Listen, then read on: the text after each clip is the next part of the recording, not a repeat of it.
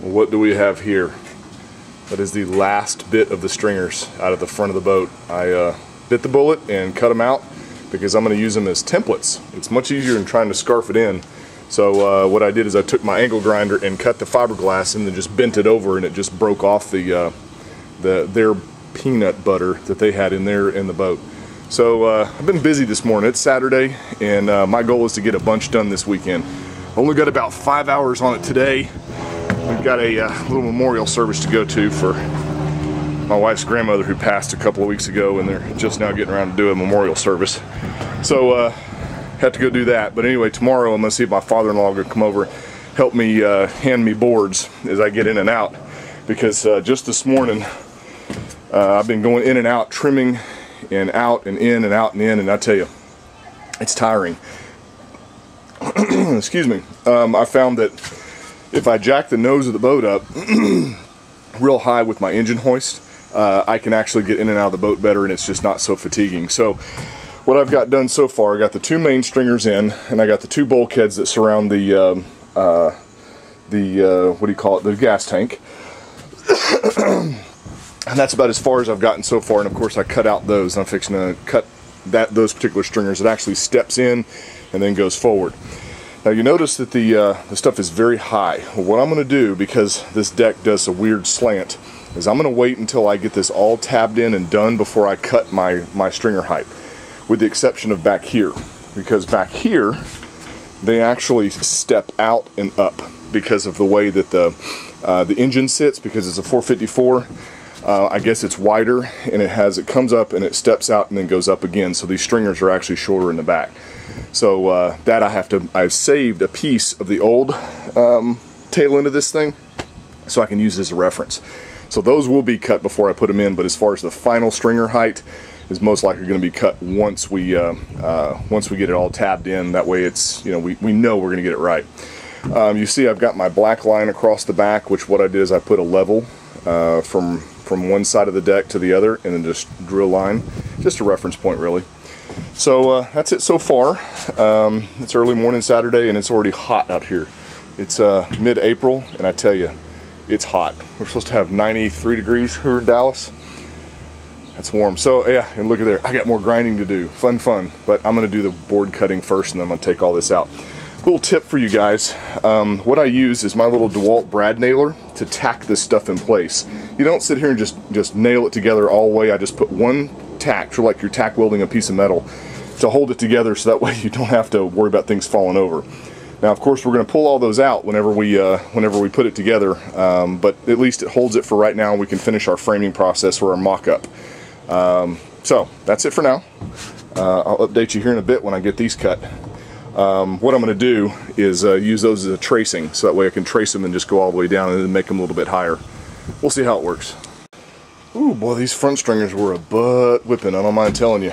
Uh, it's a lot more, harder than it looks getting those angles right, even if you chase, if, even if you trace it, because actually the boat slants backward like this, so you have to account for that in your uh, where it mates up to your other piece here.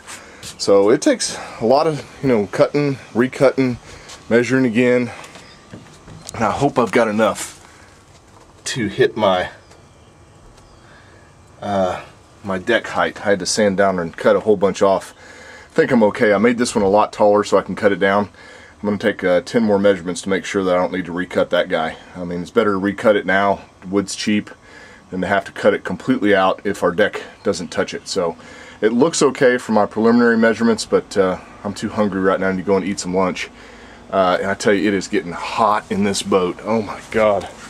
Um, there is no wind whatsoever, and they said it's supposed to be windy today. I'd give anything for a little wisp. But uh, anyway, so that's done. Uh, I'm going to make a bulkhead right up there in the front to uh, to uh, basically separate the, the, the, two areas there and make it all nice and neat. Uh, and then I'm going to start working on our long stringers that run down the side, which means I'm going to have to take two pieces and laminate them together, uh, which shouldn't be too bad. Um, I'll just use PL glue and, and do it that way. But other than that, it's moving along pretty quick. And then once this is all said and done, I've labeled everything. You notice I've got front fuel, I've got aft fuel, I've got everything starboard and port. So that way when I pull it out, I, I, I did it in Sharpie so that way you can see it whenever you, uh, after you put the um, fiberglass and waterproofing down on it and uh, pull it out, waterproof it, and uh, grind that down up in the front so that way it's all prepped and ready to go and then grind my keel where it's thin so we can put some more in there. I'm actually going to go get me some 24 ounce uh, woven uh, which is a lot heavier duty. I'm going to put a couple of pieces down there and then finish it off with 1708 just to make it a you know, a nice, good repair, make sure we don't have any problems. And I think the reason you're seeing light through it is because the gel coat on the outside's wore off and uh, I'll go back out there and re-gel coat it whenever we strengthen this up, but we want to make sure you get it nice and, and clean. So um, once that's done, uh, we can actually wash this, this hull one more time and then uh, PL these guys into place and let them dry really good um, all week. And then hopefully next weekend uh, we can start glassing this stuff in and get it, uh, get it done. Well, I had a little setback. Um, nothing huge, but uh, I'm glad I checked everything before I go marking and really trying to put it in here. Um, notice the bow of this boat is way up in the air. Well, when I put in my uh, bulkheads, I wasn't taking into effect that they need to be basically perpendicular to the center line of the boat.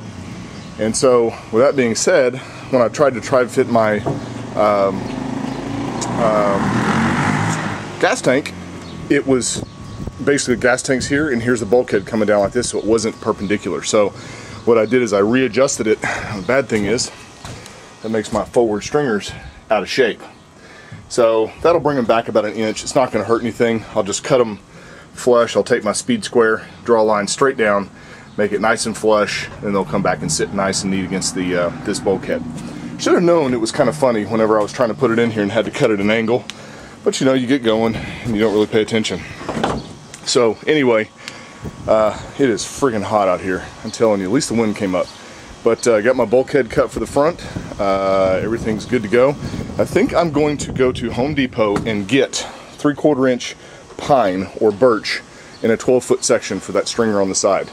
Um, I think that'd be a lot better than trying to splice these together and having a glue joint in the middle. So that way I've got one piece all the way up.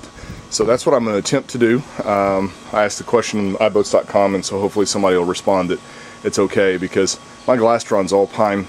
It's been around since 1981 so um, but anyway that's what I'm doing. I'm gonna go ahead and pull these two stringers out and I'm gonna cut them down and see if I can get them dry fit back in make sure they're okay before we move forward. Okay so we're actually doing the side stringers now which I went up and got a nice big uh, piece of uh, I forget what this is whitewood which is a higher grade pine uh, I know I probably got should have got Douglas fir but uh, to order that it would have taken forever. And I'm going to encase this and soak it in resin so I'm, I'm not too worried about it. So anyway what we did is we supported it across the hull with a couple of two different uh, uh, boards so that way it's nice and perpendicular actually level to these stringers here. And then I use my nifty pin method to go down the stringer and follow the hull. And so now we're just going to take this out and cut it with a uh, jigsaw and see how it fits and then like we did like we're to do with these is I'm to actually cut that once I actually glue it into the hull level with the rest of the uh, stringers. So those are this one's actually only to be about six to eight inches tall at the very most.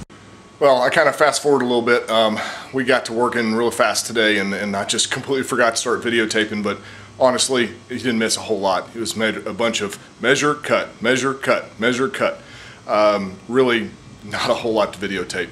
Um, although you can see probably my mask mark around my face. I just finished grinding again. Um, I tell you, a Tyvek suit in 85 degree weather ain't no fun at all. It is so hot. I've gone through, I think, a gallon of water today doing this.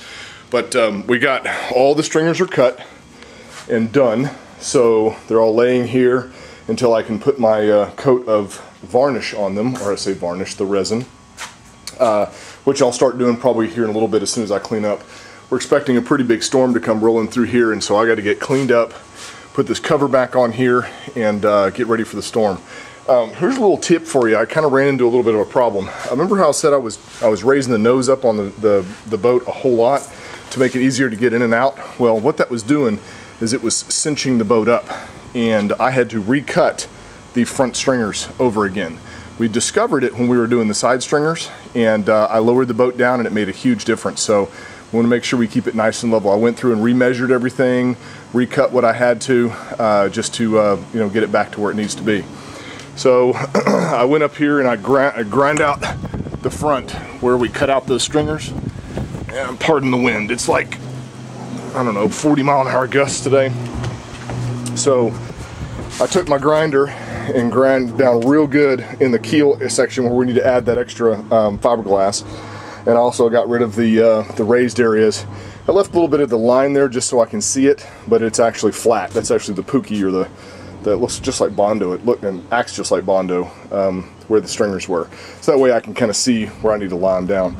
Um, grind it all the way back to here, and I tell you, look how much dust it creates. I mean, that just shows just a little bit, and it just uh, makes a huge mess. Um, the little, keeping the stringer elevated above here and tracing it worked out pretty good. You still had a lot of adjustment to do to, uh, once it was um, once it was cut because it wasn't exactly perfect. Uh, and tracing it to the other side, not so much. Um, we had to do a lot more adjusting, but we got it. We beveled the edges. It's all good to go. So I'm going to start uh, putting the uh, the resin on them and encasing them in 1.5 CFM CSM real quick. But right now I'm going to sweep this out and uh, wash it out really good, let it dry, raise the nose up, and cover it. Get ready for this uh, this rainstorm. So that way it doesn't uh, soak my new transom although you know it's waterproof and ain't nothing gonna hurt it. So I think that's it for this weekend until I start doing the uh, the, the uh, waterproofing which I'll videotape that later on and show you how I do it. Um, notice remember I left the uh, stringers taller because what we're gonna do is we're gonna bed them down let them set up and then we're gonna cut them to height so that way we can have it exactly right so uh, that's it for now alright so uh, we have uh, everything, all the stringers and bulkheads and everything, at least one side uh, covered in polyester resin. Now, I've only done one side and I mixed it super slow, so what it does is it actually will soak into the wood much, much better. By uh, soaking into the wood, it helps waterproof the, uh, the wood a whole lot better. And uh, I have a little theory also, because polyester is not known for sticking to wood very well. So uh, by giving this foundation, uh, it actually will help uh, the polyester stick to it whenever we put more fiberglass on it. So I'm only going to put one coat on both sides, let it soak in real good, and then I'm actually going to put one layer of chop strand mat over all of it. I'm just going to lay it over the top, let it lean over on either side, put down a whole bunch of uh, resin, and then we'll we'll cut it to to, to fit. So that way it, it I'm not going to try to wrap it around on either side because we're going to cap the stringer whenever we cut it to fit, and then this is going to be bedded in PL. So it's not that huge of a deal to wrap the bottom also. So what I'll do is I'll lay out my my chop strand on here, cut it to the right size, and then we'll we'll go ahead and uh, and, and cover it properly. So um, this stuff's probably going to take a good two hours for it to kick off. It's late on Sunday.